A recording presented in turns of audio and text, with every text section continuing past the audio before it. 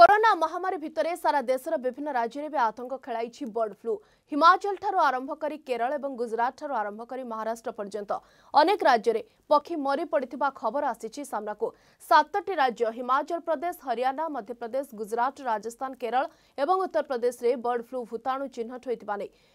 ସ୍ପଷ୍ଟ ହୋଇସାରିଛି ତେବେ ରାଜଧାନୀ ଦିଲ୍ଲୀ ଛତିଶଗଡ଼ ମହାରାଷ୍ଟ୍ର ସମେତ ଅନେକ ରାଜ୍ୟରେ ପକ୍ଷୀମାନଙ୍କ ନମୁନା ପରୀକ୍ଷା ପାଇଁ ଲ୍ୟାବ୍କୁ ପଠାଇ ଦିଆଯାଇଛି ରାଜଧାନୀ ଦିଲ୍ଲୀରେ କରୋନା ପରେ ଏବେ ବର୍ଡ ଫ୍ଲୁକୁ ନେଇ ଭୟ ଦେଖିବାକୁ ମିଳିଛି ନିକଟରେ